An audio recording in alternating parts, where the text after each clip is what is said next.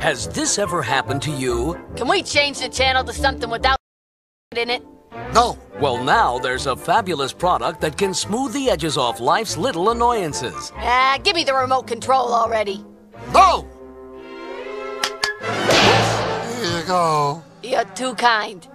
It's the Slapper. Slap on, slap on, slap on, slap on. The slapper. Works for me.